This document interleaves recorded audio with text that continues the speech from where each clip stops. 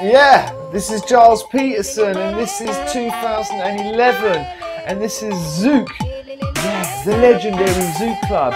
First night, Worldwide Festival 2011. That's how we do it. The worldwide, baby.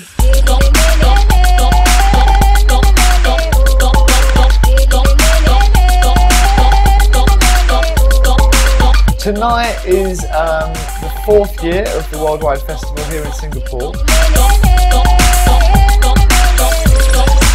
The Worldwide Fest is by far, to me, one of the greatest festivals. Nobody's going there to try and like be seen or like, hmm, who can I pick up or whatever. Everybody's all about like really good music and I think they curate the festival so well.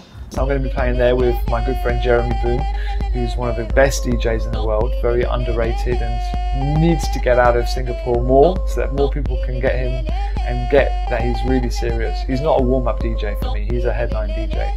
But he's a great guy to play with because he always sets it up very nicely for me.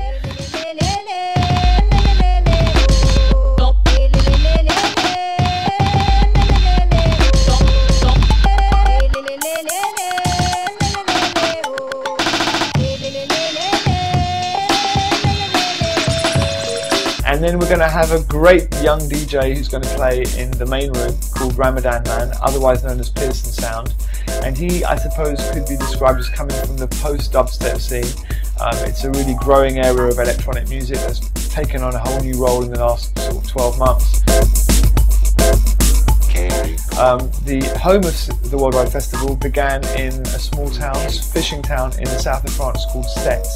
And we've had five years there now, which is a festival in which really, for me, it was to be able to bring all this music that I play on the radio and to be able to put it on at a festival that I could kind of curate, create, make sure that everything was the way I'd like it to be if I was just wanting to hear this great music. So a real wide selection of music, mainly based out of the DJ culture, but also incorporating a lot of live music as well.